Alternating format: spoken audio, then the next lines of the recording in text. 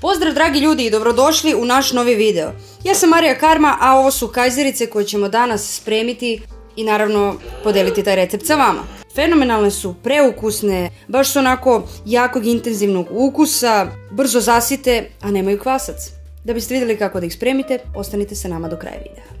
Biće nam potrebno belo brašno, zatim e, malo nekog integralnog, danas ću koristiti ražano pošto njega imamo u kući, ali možete staviti bilo koje. Možete napraviti ove kajzerice i sa belim brašnom, ali bolje da nešto kombinujete. Pošto nećemo koristiti kvasac, bit će nam potreban prašak za pecivo, malo šećera i soli, onda malo ulja, a ovdje sam stavila mešavinu...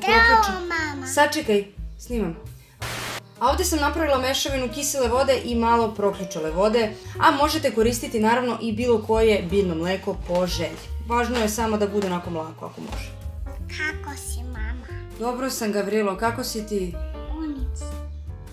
Prvo ćemo sve tečne sastojke staviti u ću. Ajde, ajde stavljaj, sipaj ovu ovo, ajde. Bravo. Ajde ulje sipaj. Bravo. Ajde, ide sad brašno. To je Šta? Dodajemo integralno brašno, dobro. I sve ostale sastojke, bravo. E, sada ćemo da umesimo jedno testo, ali mesimo sa varjačom. Ajde, ajde, ajde, izvoli ti, ajde. Da, da ti ja sad malo pomognem, čekaj.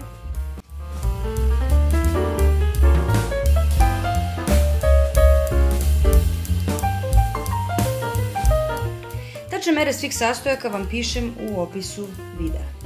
Poklapam ga ovom folijom koja naravno nikad ne radi svoj posao jer je neki krš kvalitet. Neće se zalepi. Znači jedina funkcija folije je da se zalepi, ona neće se zalepi nego mi beži na sve strane. Nije ni bitno. Ovo ostavljamo sada 15 minuta da odstoji pa se vidimo kasnije. E, ajde, skidamo foliju. Idemo polju. Tako je. I sada ćemo u ovo testo dodati još malo brašna. Nemam pojma koliko treba, ono, koliko da se ne lepi za ruke. Znači, nemam pojma.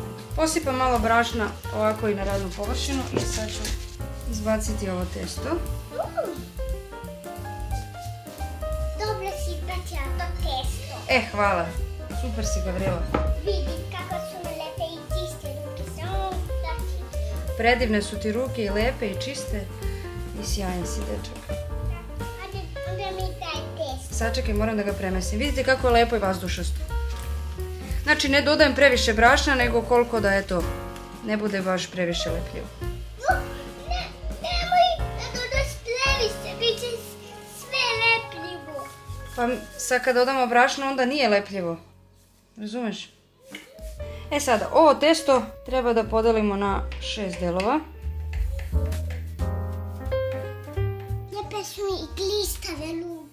Glistave su ti ruke. Šta ti znači da su ti ruke glistave? Nešto glistavo i onda može staviti klep. Sada svaku juvku ovako. Da i meni. Tako, bravo. Isto to ćemo raditi i sa drugima. Ajde. Bravo. Ja sedam meni. Evo, izvoli. Tako spjeska. Evo ti još jedna. Ha? Ovdje. Hvala. Teško. Sad ćemo samo da ih zasečemo ovako.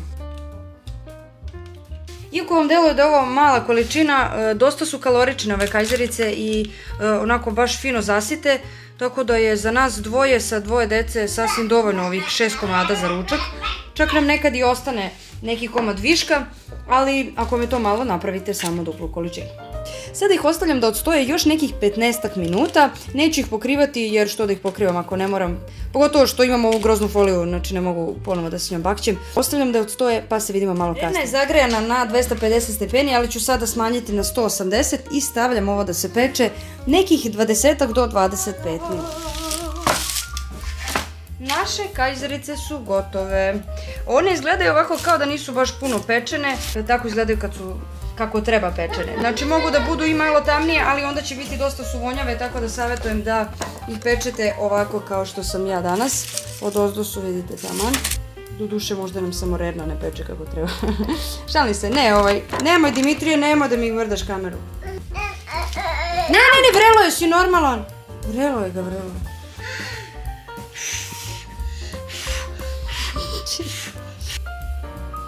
Što mrdaš kameru?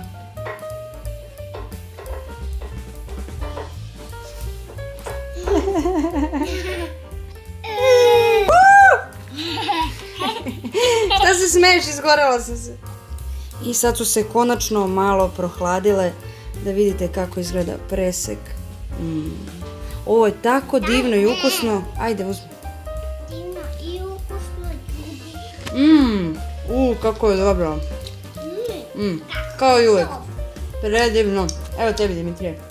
Ljudi, nadam se da ćete spremiti ove kajzerice i da ćete uživati u ovom divnom ukusu. Mmm, baš su dobre. Hvala ljudi što ste gledali u ovaj video. Bravo! Bravo. Dođite nam ponovo i gledajte neki drugi recept ili neki drugi video koji snimamo za vas. Uživajte i vidimo se za par dana u nekom novom videu. Ćao! Hm, kako je dobro. Hm, jesi vidio? A, baš je lepo. A zašto ta voda služi? Voda služi za recept. Ajde sad tišina da mogu da snimam. Da može?